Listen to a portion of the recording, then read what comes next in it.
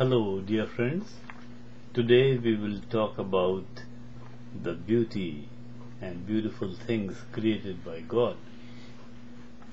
To be more specific, we will talk about music, paintings, photographs, sculptures,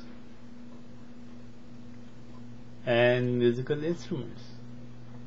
Now, at the outset, I must say that the exalted Prophet and his noble companions had beautiful aesthetic sense. They could never declare these things haram or forbidden because the Quran makes things very clear.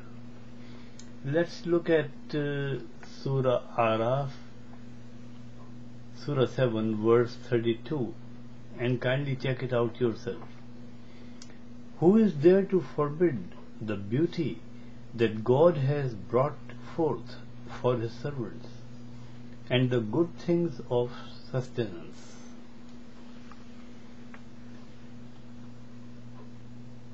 One mistake that the Muslims make is that they either condemn a certain thing completely or they approve it completely. It's not the things that are bad or good in themselves, it's our use of them that makes them good or bad. I remember several years ago the greatest evangelist of America, Billy Graham, was answering a question on the television and he seemed very per- perplexed. He said, I don't know why God has created evil. The Quran was not in front of him. If you see Surah 130, 113 in the Quran, you see, قُلْ أَعُوذُ بِرَبِّ فَلَقٍ مِنْ شَرِّ مَا خَلَقٍ I seek refuge in the Lord of the dawn from the evil aspects of the things that He created. Evil aspects. So it's our use of music, pictures, sculptures, the beautiful things in life that makes them good or bad, even let's say the television, photography, all those things. Looking at the history, we see that the exalted Prophet and his noble companions they never considered these things haram because uh, the Quran does not declare them forbidden at all. The ahadith in, on this subject are most certainly fabricated. I can give you one example and you can decide for yourself. There is a hadith in Sahih Sitta which says, the exalted Prophet said, I have been sent only so that I can break the stringed instrument, sarangi. What can be a greater insult for that greatest man, man who ever stepped on earth? His mission was far too glorious to bring a benevolent revolution, the greatest revolution the earth has seen forever. He was the mercy for the world. So to confine his mission just to break musical instru- a musical instrument is a great insult.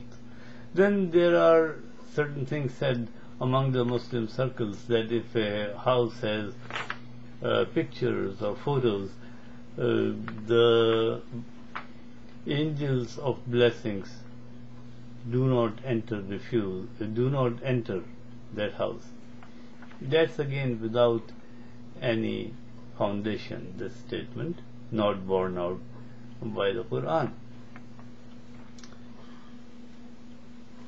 The history tells us that when the exalted Prophet migrated from Mecca to Medina, the Medina girls went on their rooftops and they were singing celebrating, playing duf, the drum, and welcoming the exalted Prophet. He never stopped them. Then there are many reports in history that the Prophet ﷺ used to encourage his wives to see the dances, singing on musical instruments by the Habashis from Ethiopia inside the Masjid Nabawi and outside in, in, in the ground.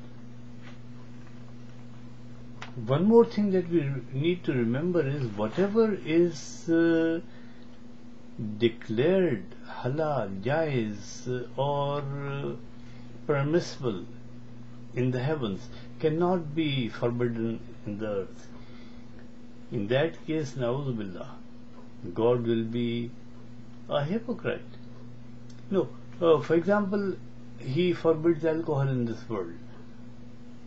He allows it in the heavens, but He makes it very clear that the alcohol consumed here that does becloud our mind, but the one in the heavens in paradise does not becloud, becloud the minds of the dwellers of the gardens. We also see repeatedly Yahbarun. That word is the key word. That the dwellers of the paradise will have companies, they will sit down together enjoying beautiful music, singing. Lahni Daudi, the singing of Dawood salam, is very famous among our ulama and they never raise any objection. He used to sing very well. He had beautiful instruments. And uh, when we come to his son, Solomon the Great, uh, his empire was and throughout decorated with paintings, sculptures, statues, pictures, and musical instruments. There used to be music played all around his kingdom. So a prophet of God, if he did, first of all, he won't do a wrong thing. Suppose he did, then the Quran would have snubbed him right away that he did wrong. No, we don't find that. Uh, for that, you should see Surah Saba 34, verse 13. Coming back to Surah Araf 7, verse 35, we see that Allah has forbidden only lewdness, those things that uh, curb the human potential, unjust aggression, and shirk, associating any other with the un- unity of God. If we see Surah Zukhruf 4370, verse 70, it says that the dwellers of the paradise will be entering the garden, singing, rejoicing to their abode, to their beautiful abode. So where is the prohibition for music? no, not in this world, not in the hereafter. Now here in this uh, world, even our uh, our clergy, they say that dolls for children's play are forbidden because they have uh, some human shape, and anyone who draws a picture would have to put ruh or spirit into it. The Quran does not say that. It discards these things as nonsense just before those hadiths came into being. Uh, so I think very briefly we have touched the subject.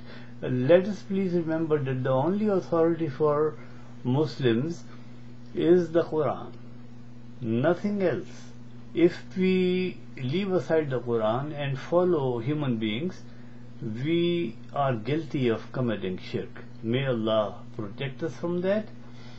Thank you very much for listening. May God bless you.